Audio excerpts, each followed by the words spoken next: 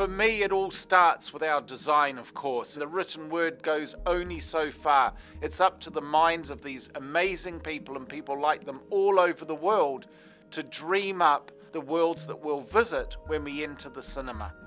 Three years ago, I had the great pleasure of meeting Mayor Yang, the mayor of Gwangmyeong City in Korea. He is an extraordinary individual focused on bringing creativity and art as one of the pillars of his economic growth within his city. And that has allowed an amazing collection of young people to be part of a concept design competition. But this is no ordinary design competition. This is set below the ground in the world's largest man made cave system, the Gwangmyeong Caves.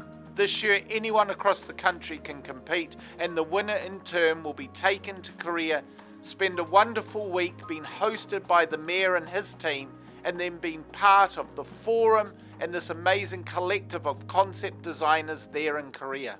It was a really good experience, and I met a lot of great people and had a lot of cool dinners with people that were much higher up than me, so absolutely fantastic experience a young man called Tahiwi, who we met through last year's competition, has ultimately interviewed with us and is now working with us on a number of international projects. And it's wonderful to think that this forum has also benefited Wellington students beyond the opportunity to go to the competition. So this year it's a really fun brief. Imagine Korea as a country where petroleum based fuel didn't exist and everything is still a steam powered industrialized world, what is your version of a Korean, Asian, steampunk world?